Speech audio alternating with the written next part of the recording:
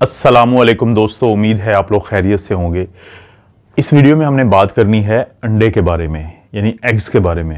अंडों के बारे में पूरी दुनिया में पता नहीं कितने अरसे से एक बहस तो चलती ही रहती है कि दुनिया में अंडा पहले आया या मुर्गी पहले आई।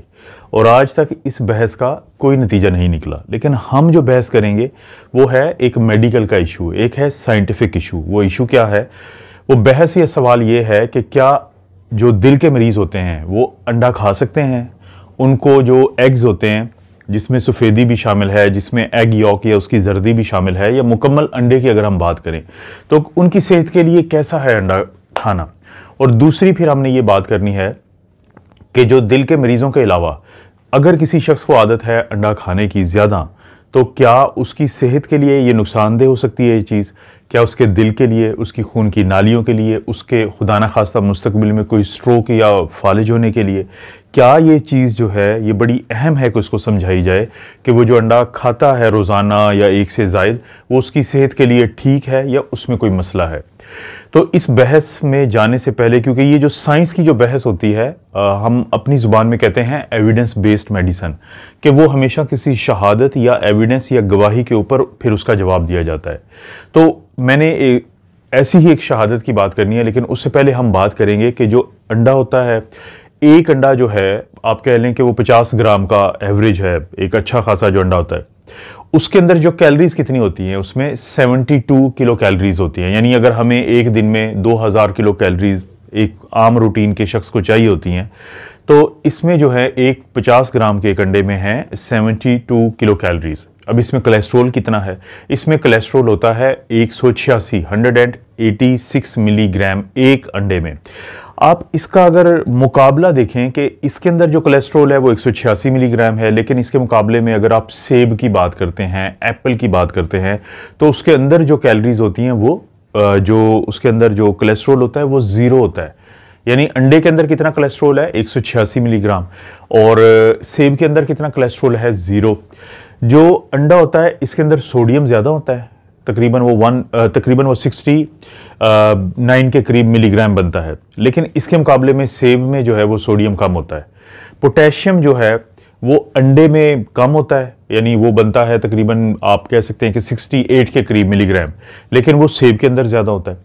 तो कंपैरिजन ये जो मैंने किया है सेब के साथ, अगरचे और भी बहुत सारे फ़र्क हैं, यानी सेब के अंदर और अंडे के अंदर। लेकिन यहाँ पे मेन मकसद ये था इस मुकाबला करने का या कंपैरिजन करने का कि जो अंडे के अंदर कैल जो कोलेस्ट्रोल है वो एक सौ छियासी मिलीग्राम है, जबकि सेब के अंदर जो कोलेस्ट्रोल है वो ज़ीरो मिलीग्राम आप इसको कह सकते हैं एक सेब के अंदर। इसी तरह से जो टोटल फैट्स होती हैं अंडे के अंदर, अब ये मुकाबला मैं ख़त्म करता हूँ और सिर्फ़ अंडे पे अपनी बहस को फोकस करते हैं। जो अंडे के अंदर टोटल फैट्स होती हैं, वो तकरीबन 4.8 ग्राम होती हैं। कार्बोहाइड्रेट्स जो है, वो बहुत कम होता है। पॉइंट फोर ग्राम होता है। इसके मुकाबले में जो प्रोटीन होती है अंडे में अंडे में वो 6.3 यानी छः इशारिया तीन ग्राम होती है। अगर हम वाइटामिन ए की बात करें तो वाइटामिन ए इसके अंदर 5.4 परसेंट है और आयरन जो होता है वो 4.9 परसेंट है और इसी तरह से जो कैल्शियम होता है वो 2.2 परसेंट है। वाइटामिन सी जो है वो अंडे के अंदर नहीं होता, वो हमें फलों में मिलता है, वो हमें सेब में मिलता है तो इस तरह की चीज़ों में हमें मिलता है। तो अगर ये जो हमने जायज़ा लिया है कैलरीज जो एग के अंदर है, अंडे के अंदर है तो हमें पता चलता है कि इसके अंदर कोलेस्ट्रोल जो है, वो अच्छा खासा मकदार में मौजूद है। अब एक स्टडी हुई वो जो स्टडी थी, वो 21 सालों पे मुहित है। दोस्तों 21 साल जो है, वो एक बहुत बड़ा अरसा होता है। और उनतीस हज़ार छः सौ पंद्रह लोग थे जिनके ऊपर ये पूरी स्टडी की गई। इसका ये मतलब और ये प्रोस्पेक्टिव स्टडी थी। प्रोस्पेक्टिव का मतलब है कि गुजरते टाइम के साथ उनके साथ बातचीत की गई।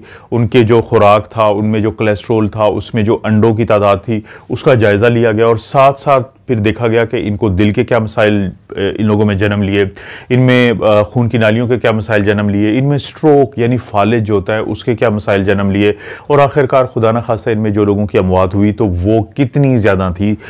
फिर ये देखा गया इन उनतीस हज़ार छः सौ पंद्रह लोगों में कि जो ये पूरी निचोड़ क्या निकाला गया स्टडी का, निचोड़ ये निकाला गया दोस्तों कि वो तमाम लोग जो अंडा खाते हैं, वो तमाम लोग जो कोलेस्ट्रोल ज़्यादा लेते हैं और वो तमाम लोग जो वो ज़्यादा चीज़ें खाते हैं जिनके अंदर कोलेस्ट्रोल ज़्यादा होता है। यानी अगर कोई शख्स एक ऐसी चीज़ लेता है जिसके अंदर 300 मिलीग्राम का जो कोलेस्ट्रोल है एक दिन में, वो ज़्यादा ले लेता है या एक अंडा ज़्यादा लेता है तो उसके अंदर दिल के अमराज बढ़ते हैं, उसके अंदर खून की नालियों की जो बीमारियाँ होती हैं वो बढ़ती हैं, उसके अंदर जो फालिज होता है, उसकी, उसके बहुत ज़्यादा चांसेस होते हैं। क्योंकि इसी स्टडी में जो 21 सालों पे मुहित थी, जो उनतीस हज़ार छः सौ पंद्रह लोगों पे की गई। ये देखा गया कि इस अरसे के दौरान 18 फ़ीसद लोगों में जो सीवीडी यानी कार्डियोवैस्कुलर डिज़ीज़ या दिल के जो मामला हैं, उन्होंने जन्म लिया। और इसी तरह से इस, इनमें कम अज़ कम इक्कीस फ़ीसद वो लोग थे जो मुख्तलिफ़ अमराज की वजह से, यानी वो तमाम अमराज जिसमें खून की नालियाँ शामिल होती हैं, जो मैंने फालिज की बात की, खून की नालियों की बात की, दिल के अटैक की बात की तो उनकी वजह से उनकी अमवात हुई। तो निचोड़ यही निकला कि वो लोग जो अग, एक दिन में अंडा जो है वो ज़्यादा खा लेते हैं, यानी एक शख्स एक अंडा खाता है और उसके बाद उसको वो इजाफी आधा अंडा ले लेता है, ये इस स्टडी की मैं बात कर रहा हूँ। तो उसमें जो शरा अमवात है और खून की नालियों के मसाइल हैं और दिल के मसाइल हैं, वो ज़्यादा होते हैं। इसी तरह से अगर कोई कोलेस्ट्रोल ज़्यादा इस्तेमाल करता है तो उसके अंदर भी दिल के अमराज और खून की नालियों के मसाइल ज़्यादा होते हैं।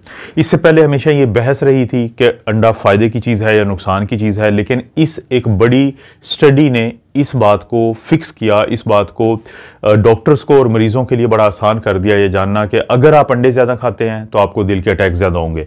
अगर आप ज़िंदगी में कोलेस्ट्रॉल ज़्यादा इस्तेमाल करते हैं तो आपको दिल के अटैक ज़्यादा होंगे।